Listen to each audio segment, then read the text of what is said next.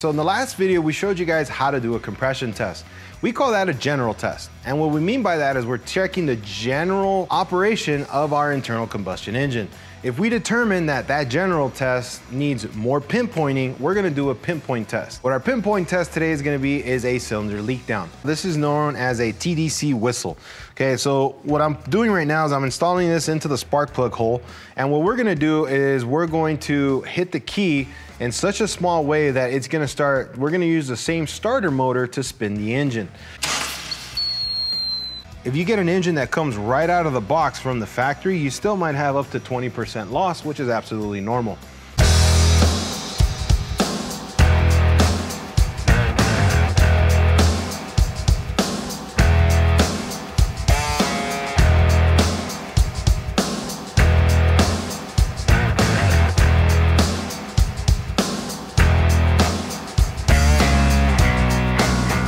What's up guys, welcome back. So this is gonna be part two of our automotive series. So in the last video, we showed you guys how to do a compression test. We call that a general test. And what we mean by that is we're checking the general operation of our internal combustion engine. If we determine that that general test needs more pinpointing, we're gonna do a pinpoint test. What our pinpoint test today is gonna be is a cylinder leak down. Might be wondering, what the hell is that? So what we're gonna do is we're gonna pull the spark plug, we're gonna raise the cylinder to top dead center compression, which means that the piston is all the way at the top, both valves are closed, so this way the cylinder is completely sealed. We're gonna introduce some shop air into it using a manifold with two gauges, and that's gonna tell us if there's any loss of air going into the cylinder. What loss of compression or loss of volume into the cylinder is indicative of is that's gonna cause a engine misfire. So if the vehicle can't compress and hold the air, the air properly in the combustion chamber, that's gonna result with an engine miss.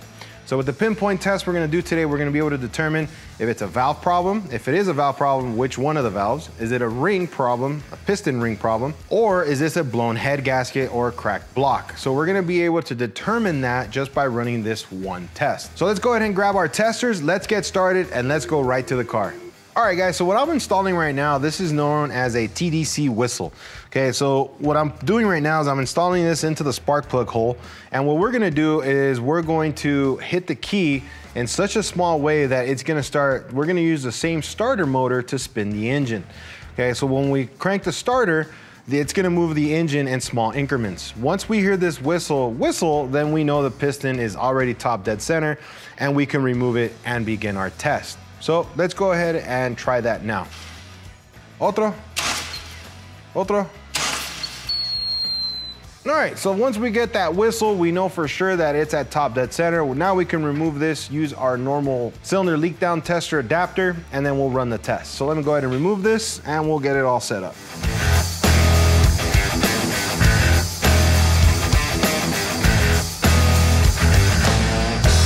So we're gonna go ahead and set the vehicle up. One thing you wanna keep in mind is if you're gonna be using a cylinder leak down tester that doesn't come with adapters and you're gonna use your compression tester adapter, make sure you guys remove the Schrader valve. If you run this test with the valve in place, then it's gonna always come out 100%, showing it doesn't have any leaks, but that's because you set it up incorrectly. So always make sure that that is empty without a Schrader valve. If you don't know what Schrader valve is, it's a little valve kind of like on your car tires. That little valve you press in, they have these as well. Just go ahead and remove it if you don't have one that comes with your cylinder leak down tester. So we'll go ahead and install this in the hole. Again, just hand tight, don't go crazy on it, don't torque it down because if it breaks in there, good luck getting it out. The next part of our tool is gonna be this bad boy right here. So this is our leak down tester. We're gonna put shop air on this side and then we are going to regulate it, okay? This is telling us how much air is actually coming into the cylinder and then this is telling us what we have for our loss, okay? Again, this is one of the testers that I would recommend spending some good money on because you wanna get a good, accurate reading. And if you buy the lower end ones, they do have a tendency of leakage and then gauges are not 100% accurate. So make a good investment. This is one of those tools that once you invest in it, it's gonna last you forever. Probably the only thing that might break would be the tip or the regulator itself. So the next step was gonna be is first we have to set it to calibrate it. So we'll go ahead and connect it to shop air. Once it's connected to shop air, I'm gonna use my regulator. And what, I'm, what I need to do is I need to set it to zero or the set mark on this side. Okay, once we do that, we'll go ahead and lock it into place. Then the next step is we're going to connect it into the cylinder. So based off of what I'm seeing right now, is my tester is telling me that I have over 80% loss of volume in this cylinder. Because this engine's not misfiring, I know this is incorrect. So what this is telling me is that the piston got pushed down because I didn't have it all the way up when I set this up. So let me go back and reset it and then we'll go ahead and continue with the video. Always remember, if you can't get the engine to cooperate with you, which is what we're having now, you can always go down and by hand spin the crankshaft using the proper socket and ratchet. Always make sure that if you're gonna do so, remove the key from the ignition switch so nobody accidentally cranks the engine while you have your hands near the crankshaft pulley and the belts. It's all about safety. So right now we're going and hand cranking it by hand. Once we hear the whistle, we know that compression or the cylinder's at top dead center, and then we can retest the cylinder. All right, so when you guys are looking at your leak down tester, always make sure that one, it's set to zero before you guys connect it to the cylinder. And then also keep in mind that no matter whether this engine is brand new or has 150,000 miles, it's always going to have some sort of compression loss. The reason being is the piston rings always have what we call end gaps. So the end gaps always are gonna allow a little bit of compression to escape. So even though you guys can notice looking at the green section here, we can have up to a 40% loss and that's still gonna be okay. If you get an engine that comes right out of the box from the factory, you still might have up to 20% loss, which is absolutely normal.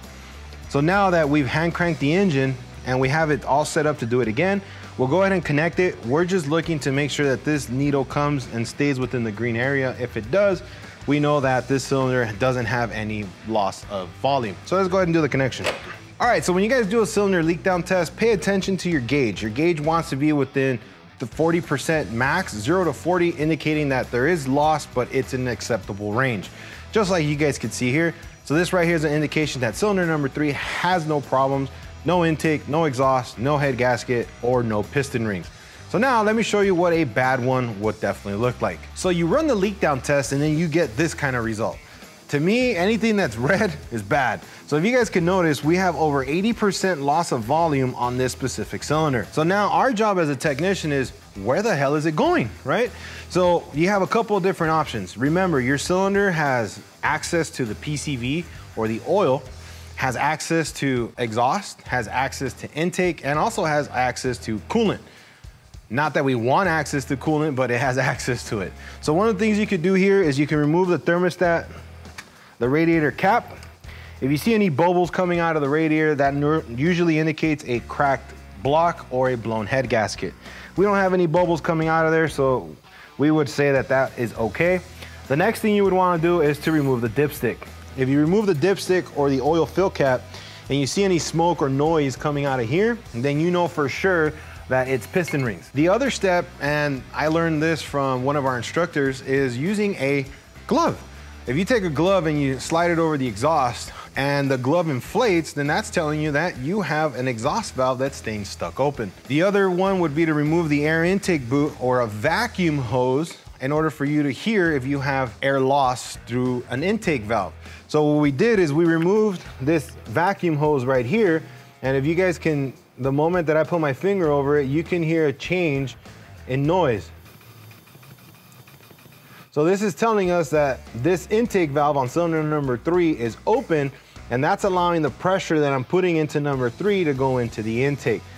If I was diagnosing this car and I have this same result, right here at this point is I'm taking the valve cover off to see if these valves are adjustable. If they are not, that's an indication that more than likely this head is coming off or a valve job. And that's it, guys. Again, you guys could tell these tests are not that difficult. And with this test, you're gonna pinpoint exactly where the problem is.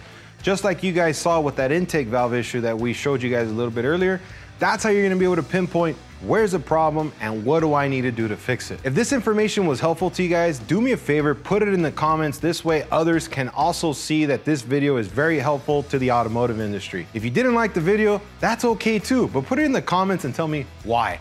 If you guys like this information and want to see more, do me a favor, hit subscribe so this way we can give you guys the better information that you guys need to be the best technicians that you can possibly be. As always, guys, a good technician is always learning. And like we always say here at Master Automotive Training, we are working to better the automotive industry one technician at a time, and this starts with you. Hopefully you guys like this information. I'll see you guys on the next one. Signing off here, Oscar Gomez from smartautotraining.com.